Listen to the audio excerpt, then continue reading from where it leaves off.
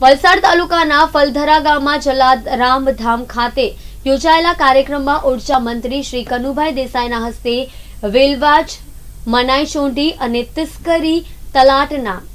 છાસઠ કેવી સબસ્ટેશનનું ઈ લોકાર્પણ કરાયું હતું. આ પ્રસંગે વલસાડ જિલ્લા પંચાયતના ઉપપ્રમુખ મનહરભાઈ પટેલ, વલસાડ તાલુકા પંચાયતના પ્રમુખ કમલેશસિંહ ઠાકોર અને ગણદેવીના પ્રભારી ગણેશભાઈ બિરારી તેમજ જિલ્લા પંચાયતના સભ્ય કાગડભાઈ ધરમપુર તાલુકા પંચાયતના સભ્ય રમીલાબેન ગાવી ધરમપુર તાલુકા પંચાયતના ન્યાય સમિતિના ચેરમેન પિયુષભાઈ ડીજીવીસીએલ વલસાડ વિભાગના અધિક્ષક